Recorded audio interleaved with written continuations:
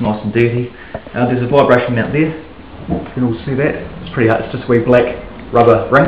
Yeah. Okay, which dampens the vibrations. There's another one here, and there'll be another one, hopefully in here, or a rubber grommet.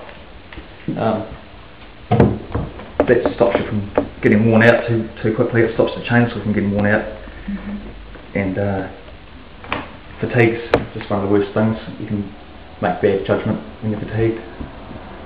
So how can you tell if they're worn out? When when it's not when it's not uh, dampening properly. Okay. Um, yeah. when it sort of slops, it'll feel like that feels sort of spongy. Um, when the rubber perishes, they'll, it'll just sort of feel dead. Um, it won't sort of spring back. It might it might feel like it's hitting hitting um, plastic on plastic or metal on metal.